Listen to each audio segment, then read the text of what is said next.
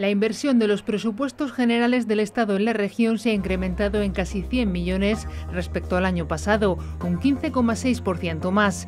El total asciende a los 723 millones 210 euros. La mayor parte se la lleva Defensa, 349 millones, destinados principalmente a la fabricación de submarinos S-80 en los astilleros de Navantia en Cartagena.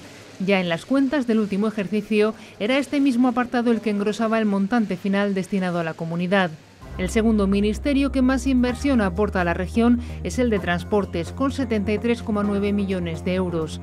Destaca una partida de unos 25 para la construcción de los tres tramos del arco noroeste. Y aunque el Ministerio para la Transición Ecológica no contempla inversión para el Mar Menor, sí que aporta a la comunidad una cantidad superior a los 35 millones, destinados, por ejemplo, a la regeneración de la bahía de Portmán, entre otros proyectos. En el caso del Ministerio de Justicia, destaca lo aportado para la construcción de edificios para juzgados.